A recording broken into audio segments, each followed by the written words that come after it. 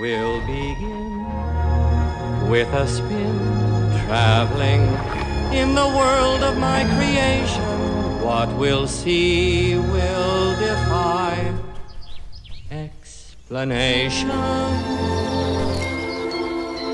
If you want to view paradise, simply look around and view it.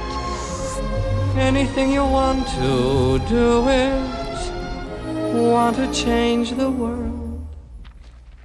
There's nothing to it. There is no life I know to compare with pure imagination. Living there, you'll be free if you truly be.